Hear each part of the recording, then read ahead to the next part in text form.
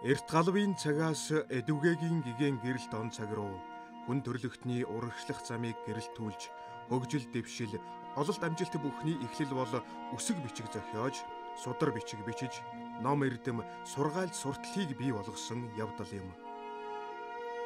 Монгол улсын шинэ үеийн түүхэнд тодор бичигдэж өнөөгийн нийгмийн хөгжлийн тулг галыг дэгжээж хөгжлийн тулгуур эрдэм боловсролыг хүн ардад сургах соён гэгэрүүлэх нэгэн шин тогтолцоо бий болсон нь Тэнхимийн сургалт болоод сургууль бий болсон үйл явдал билээ. Монголын ууган сургуулийн нэг буюу Монгол бичгийн тэнхмээс эхэлж бага дунд сургууль болон өргөжиж 100 жилтэйгээ золгож буй хан өндрийн баг сургуулийн үүх түүхийн тухай өгүүлье.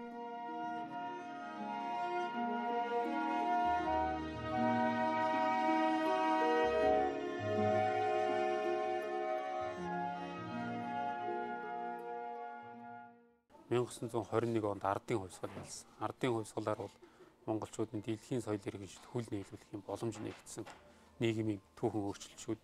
Тэгвэл энэ өөрчлөлтөөс өмнө байгуулагдсан гэдэг их онцлог 4 жилийн өмнө байгуулсан. За байгуулах байгуулахтаа бол үүнийг тухайн үеийн хушууны засаг ноёны одоо хүүн байгуулсан. Тухайн үед хушууны засаг ноёноор дармын 80-т гэж хүн ашдаг байсан албыг. Тэгээ тэр хүн бол Бээжинд өөрөө суудаг байж л тэ. Тэгээ насан туршдаа Бээжин суус хушуу нутагта баг ирээгүй хүн гэж ярьдаг. За 85 он бол ер нь дээд угсаанаас эхлээд 85-гийн угсаан эрдэм номыг их дээдэлдэг тийм хүмүүс байсан. Одоогийн заяын хүрээ, хан өндрийн хүрээ, томоохон хүрээ хийдэг байгуулсан. За ялангуяа Монгол улсад Монголд монголчуудын дунд шарын шашныг дэлгэрүүлэх үйлсэд гол үргийг гүйцэтгэж байсан төмөнхөн сайн ноён данзан лам нарын удам угсааны ийм хүмүүс байгаа юм л да. Тэгэхээр эднэр бол угаасаа ийм эрдэм номыг дээдэлдэг ийм хүмүүс байсан ба. Тэгээ 85 оны үед хурж ирээд 85 он бол энэ монголчуудыг сэргэн мандуулах хөдөлгөөн гэж тухайд байсан. Энд бол 10 өрн Монголыг тухайн нөлөө бүхий хүмүүс энэ хөдөлгөөнд оролцдог. За үүнийг хэрэгжүүлэхийн тулд тус тусынхаа хушуунд сургууль байгуулж хүмүүсийг одоо харц цагаа язгуур угсаа хөрөнгөчний ялахгүйгээр юм сурах сурах юм хөдөлгөөн өрнж байсан. Түүний нэг нь л одоо энэ 80 тонгийн санаачилсан хан өндрийн сургууль тухайн үед хөвгүүдийг бичиг үсэг сургах тэнхим гэдэг нэрээр ингээ байгуулагдаж ирсэн байгаа юм. За 1912 онд богд зарилга гаргасан. Энэ нь бол одоо 12-оос дээш насны 15 наснаас доош насны ийм хөвгүүдийг сургууль тэнхим байгуулж Монгол бичиг үсгтэй болох ийм лүндэн буусан. За зарилгач гэж ярьдаг. За энэний дагуу 12 онд Улаанбаатар хотод аа Монгол Орос хэлтэй ийм сургууль байгуулсан. Энд 8 хүүхэд сургасан. А дараа нь 13 онд 14 хүүхэдтэй. 15 онд 48 хүүхэдтэй. 16 онд 60 хүүхэдтэй болж өргөцсөн. За ийм эзэгтэй чухал үед одоо 80 том бол богдын засгийн газар бичиг явуулж өөрөө ч одоо богдод их талтай Монголын тагнуулын албыг даргалж байсан юм шүү дээ. Ингээд одоо 13 онд энэ төв дээр одоо яг энэ байгаа газар Монгол бичгийн 50 багш бэлдсэн. Эннийх нь нэрвүүлэх сонилдоо бичгийн мэрэгд нэртэй. Тэгээ 15 50 хүнээ төгсгөөд тус үрд нижгээ тамга олгоо гэсэн байгаа. Тамга гэдэг нь бол одоо бодоход бол өнөмлөх болгосон шүү. Ингээд л одоо энэ хушуунд сургууль байгуулахын ажиллагаа явуулсан. Ингээд 17 онд тэр 80 тон өөрийнхөө 3 дугаар хөвгүүн артаасдыг энэ рүү явуулсан. Энэ хушуу руу. Ямар зоригтой вэхээр хушуу нутгаа үзэх зоригтой, эцэг өвгдийнхаа нутгийг мэдэх зоригтой явуулсан байна. Тэгээд артаасд богдод бэлэг хөргөж өгчхөд 17 онд энд ирж намар ирээд тэгээ хавар нь өвлжөөд хавар нь одоо өөрт нь барсан баруун зүүн ноён сан гэж хоёр барилга барьсан байсан. Тэрүүндээ хоёуланд 10 түүхтэй тэнхмийг байгуулсан. Тэгээд өөрөө байгуулж өгөөд хүүхдүүдийг уралдуулдаг, барилдуулдаг ийм байжгаад тэгээж явсноор энд одоо 18 онд Ушууны тэнхэн байгуулагдсан юм аа.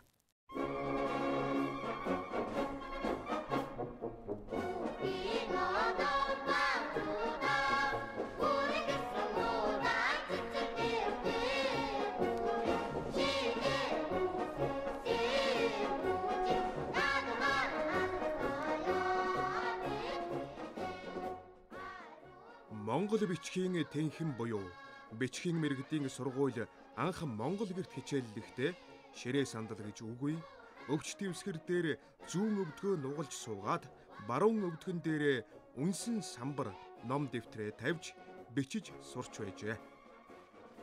Монгол оронд орчин цагийн иргэний сургуулийг игэрлийн их усүрийг ийхүү тавьж монголчуудын үндэсний ухамсар соёл боловсролын хэмжээ дээшилж эхэлсэн нь богд хаант Монгол улсын үед манай соёл боловсролын түүхэнд гарсан дэвшилт өөрчлөлт билээ.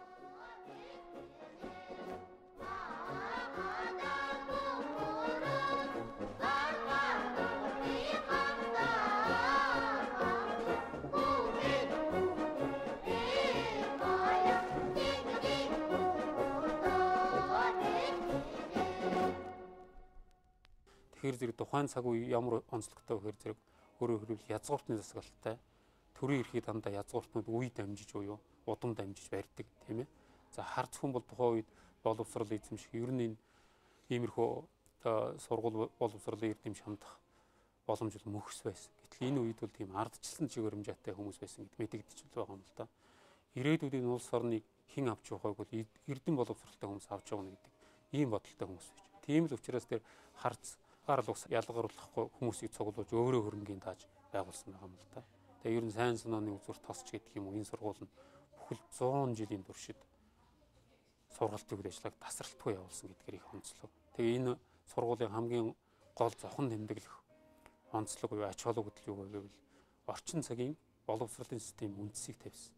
Тухайн үед боловсрол олгоно гэдэг бол язгууртны хүрээнд цөөхөн хүмүүсийн хүрээнд яригддаг байж За гэрийн сургалт авамгайлж ирсэн. Гэрийн сургууль голдуу 1 2 хүнийг бичиг номтой хүмүүс шавилуулах замаар сургаж байсан бол энэ сургуулаар бол яг орчин цагийн одоо энэ танхимын сургуультай хүнийг олноор нь нэг хүмүүс хүүхдүүдийг цуглуулад боловсрол олгох энэ системийг л үндсэлсэн үүний яг тулгын чулуу болсон ийм байгууллага байгаа юм л та.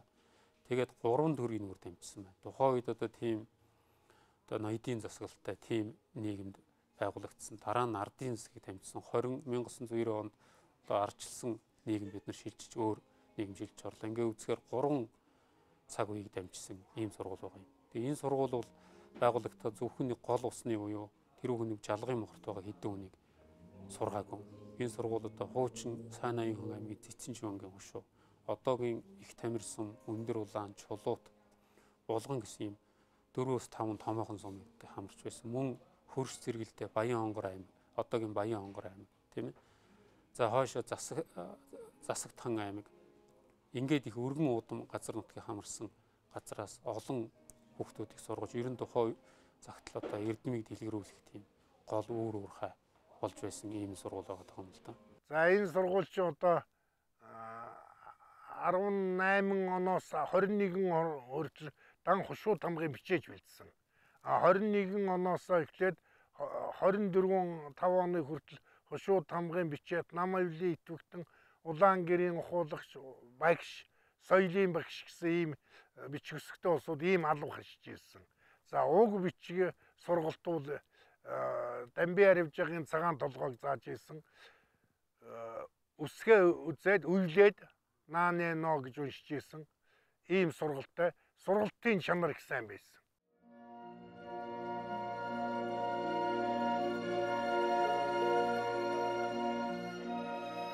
Сайн ноён хан аймгийн цэцэн чин вангийн хошуу. Уянгийн цэнхэр хадаг шиг намирсан урсгал дүлгөөн тамирын гол.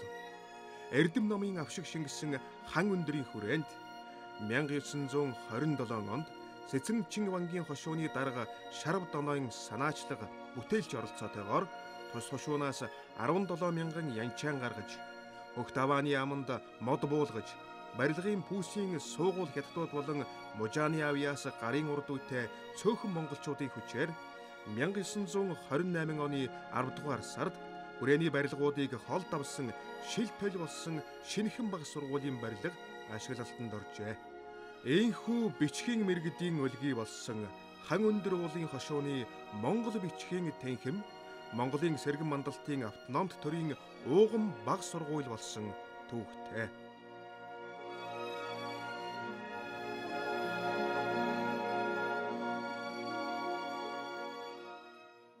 Богтаант Монгол улсын үеийн баг сургуулиуд нь дотроо 3 янз байсан. Үүнд бол нэгт нь улсын хөрөнгө хүчээр байгуулсан сургууль, үүнд нийслэлтүүрээ Маймаа хотын сургууль, орон нутгийн хөрөнгө хүчээр буюу хошууны өөрсдийн хөрөнгө хүчээр байгуулсан сургууль, гуравт нь ховийн хөрөнгө хүчээр байгуулсан сургууль сургуулиуд байсан.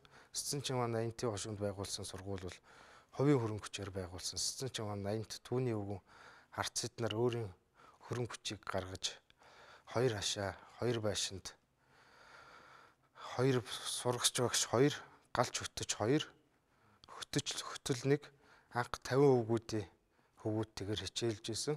1917 онд байгуулагдсан 49 баг сургуулийн нэг нь бөгөөд 1918 онд бол сургагч төчмөл буюу өнөөгийн хэллэгээр захирлын орон гаргаж түүнд бол захирагч занг гончиг жувыг тохон томилсноор сургуулийн үйл ажиллагаа явж байсан.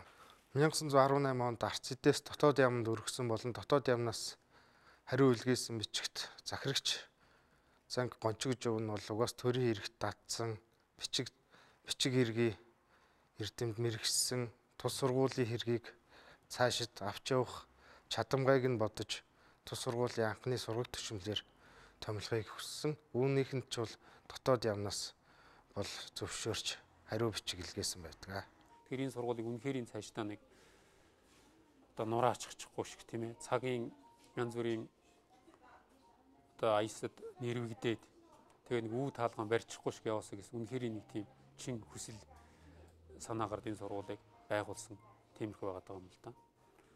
Яг тэрнээс нь ч болсон юм энэ хан өндрийн мах сургууль ингээд 100 жилийн түүхийг ингээд яасан байна. Ерөнхийдөө хан өндрийн сургуулийг бол сургууль бол яг одоогийн энэ Аранхай аймгийн их тамир сум, Өндөр улаан сум, Чулуут, Булган гэх энэ олон сургуулийг яг үндсэн чулгын тулгын чулуу болсон гэж ойлгож болно. Багшаар нь одоо автоматын үеийн сайн бичээч дайчин бизя гэдэг хүн багшилсан за мөн дүүрэн хүнд гэдэг ийм улсууд ээлжлэн хичээл зааж ирсэн. За гол арга нь бол э, Монгол бичиг, тоо бодлого, дэлхийн байдал, одоо биеийн хөгжил, аж төрөх ёс гэсэн ийм хичээлүүд зааж ирсэн. Тэгээ энд нэг онцлог нь бол хүүхдүүд сайхан бичээл ирэхээр нь л энэ хошуу тамгын бичгийг хувлуулдаг байсан баг. Тарааж өгдөг. Тэгээл тэр дундаасаа сайн нэг нь бол хугацаа харгалзахгүйгээр бичээш болгоод одоо хошуу тамгын газар авдаг. Тэр нь бол салин бөлжөөнд нь 5 төлөг авч ирсэн. А хугацаа нь болоо таарахын сурсны нь бол туслах хичээж гээд 3 төлөгний салин бөлжөөтэй юм байсан. А тэгээд ер нь онд сайн дунд муу гэдгүү. Ерөө сайн сайн дунд гэдэг хоёр дүнтэй. Ингээд төгсгөж байсан. Энэ нь бол одоо сурах хүслийн өргөлүүлж энэ хошуунд бол одоо үнгэн харанхуйг одоо сүлж өөрийн туяа гих мэт одоо бичиг үсгийг үл дэлгэрүүлсэн. За.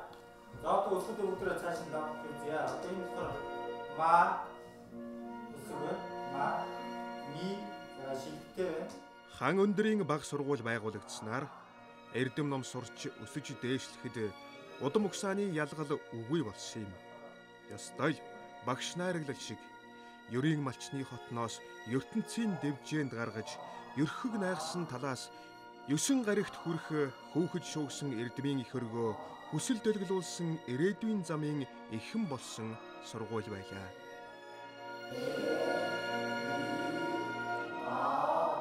За би 1937 онд ханган дээрийн баг сургуульд анх орж суралцлаа.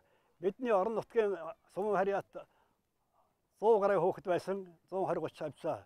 А дотор байранд бол нэг 20 30 хүүхэд бай суудаг байсан юм. За ингээд миний би тэр анх баг сургуульд орохдоо нэгдүгээр ангид орохдоо Монголын уугарчин бичгийн цагаан толгоогоос бидний заалгаж ясан дөрвөн аргын тоо а Монгол Монгол уугарчин цагаан толгойн өсгийг заалгаж байсан.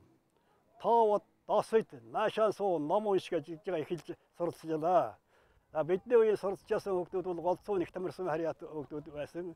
Тэгээ дотор байранд байсан биднүүд дотор байранд эрэгтэй эмэгтэйгээр яадаг дотор байранд одоо одоо хан дээр төв дээр байгаа хоёр байшингийн баруун талын дүнзэн байшингийн зүүн талаа харсан хаалгад дотортлын урдлынх нь өрөөнд дотор байрны хүүхдүүд байдаг байсан. Миний суудаг байсан байранд байр одоо байж л байл байлгаа түүхэн югаараа жаахан илэгдсэн байна лээ, уучирсан байна лээ тэгээд байж гисэн. За энэ үеийн одоо анхны сурагчдаас гээд одоо жишээлх юм бол одоо Монгол улсын маршал Дэмэд энд хүрээ байсан.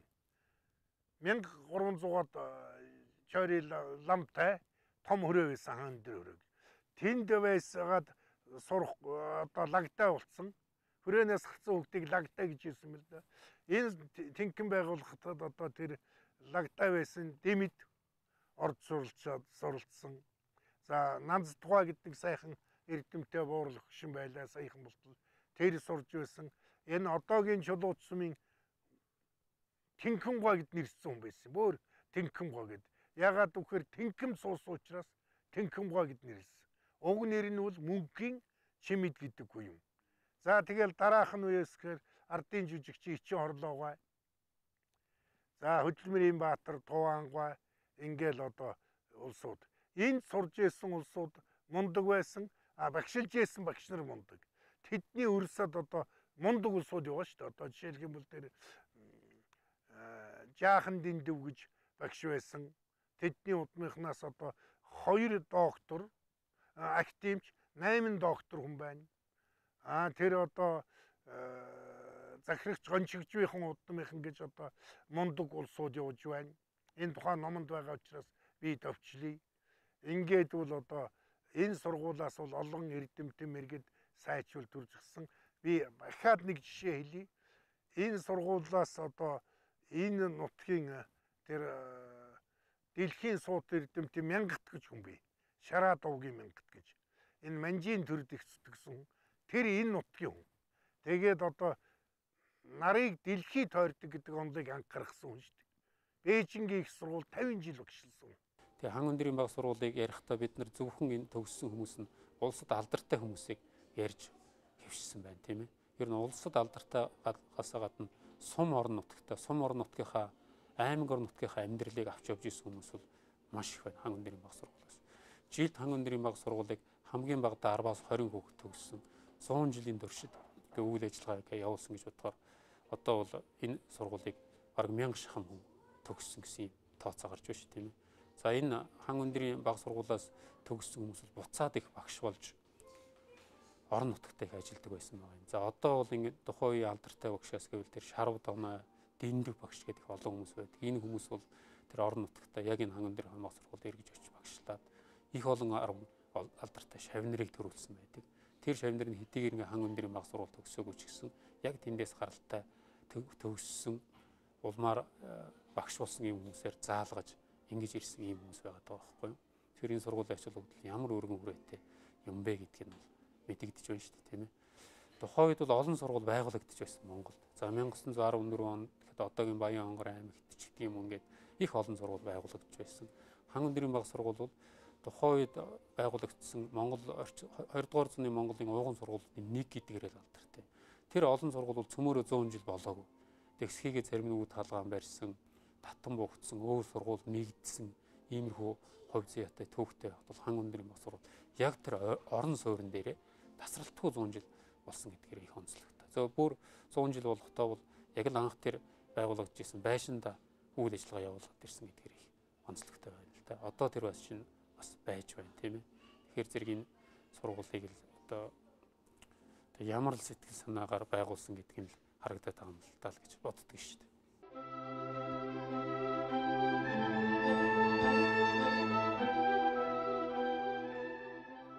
Хан өндрийн баг сургуулийн сургалтын агуулга, зорилго, чиглэл нь гэрийн хүмүүжилд ахс дээдсээ хүндлэх, ардын зан заншил, ёс суртахууныг төлөвшүүлэхэд өвч чиглэгдэжээ.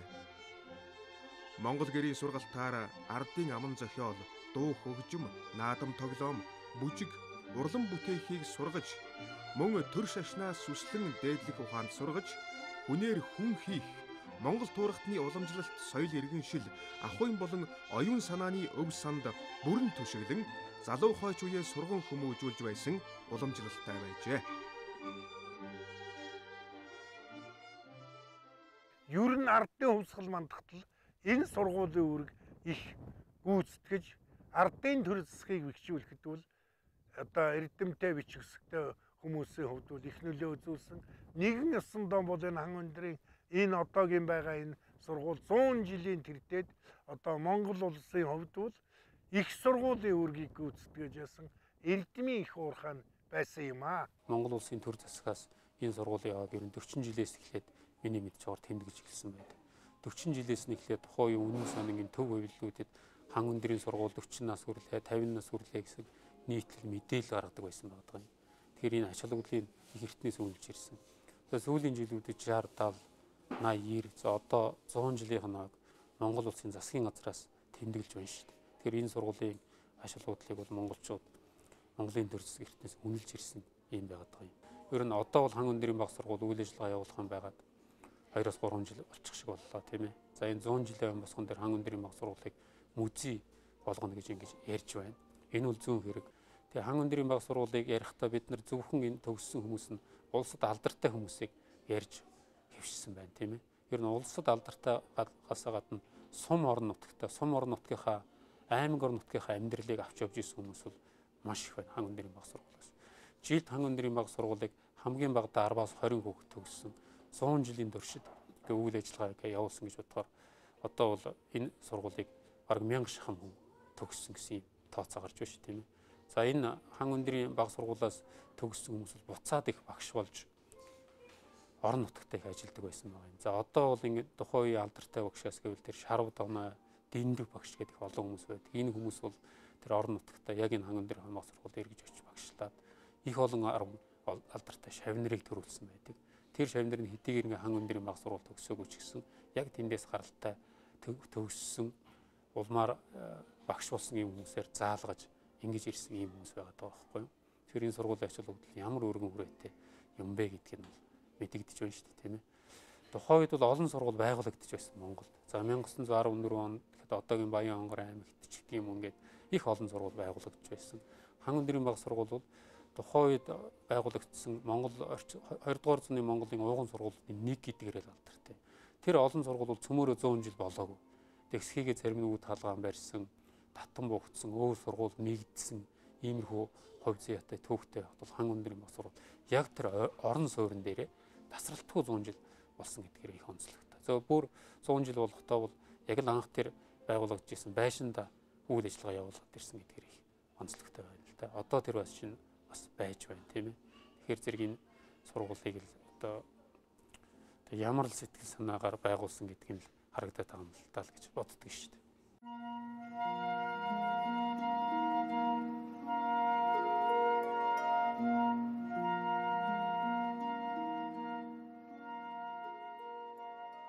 Оюун сэтгэлгээ судар номыг сүслэн дээдэлж ирсэн нүүдэлч уламжлал Эрен цагийн иргэшээлээр дэвжин хөгжиж мандаж доройтдог улс үндэстний хувь заяанд игнэгт нэгэн хിവэр үл ховирах, үл тасрах, тасалж үл болох зүйл бол уламжлал, ухамсар, зан татгал билээ.